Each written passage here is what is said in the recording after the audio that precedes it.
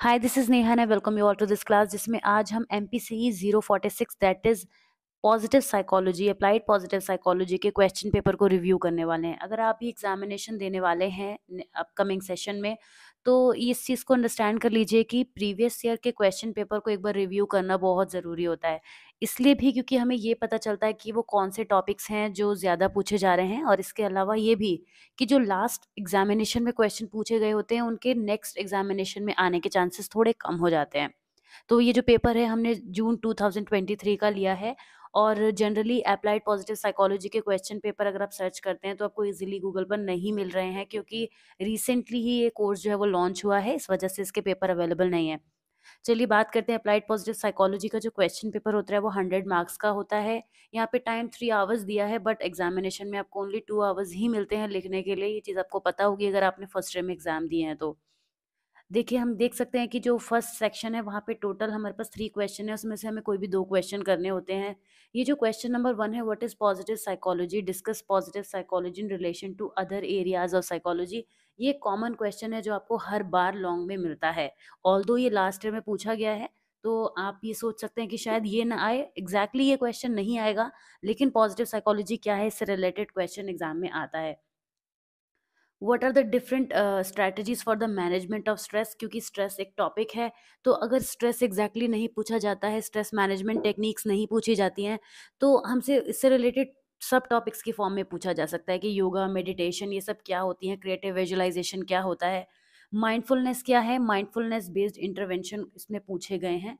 आप ये भी नोटिस कीजिए कि five plus fifteen eight plus twelve करके क्वेश्चन को ब्रेक किया गया है। तो उसी हिसाब से आपको वर्ड लिमिट में आंसर लिखना होगा।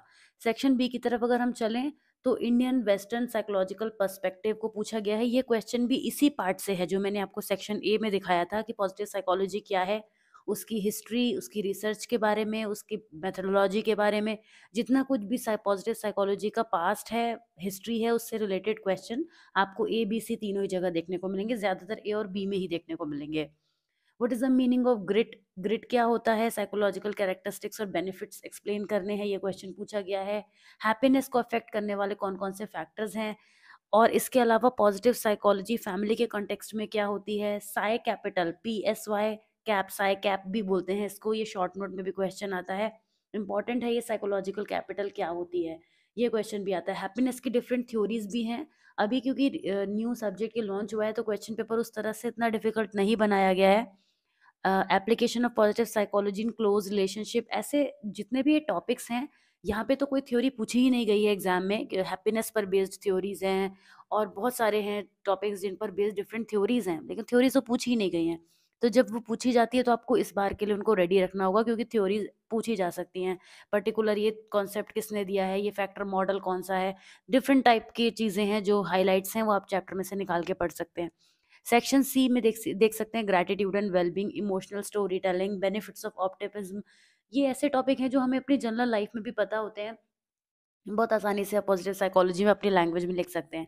तो ये था हमने क्विक ओवरव्यू किया इस क्वेश्चन पेपर का। इसको आप हमारे टेलीग्राम चैनल से डाउनलोड भी कर सकते हैं। जस्ट टू नो कि आपको क्वेश्चन किस तरह से पूछे जा सकते हैं। And I will see you soon in the next video if you found this video useful then please subscribe to the channel I will see you soon in the next video take care bye bye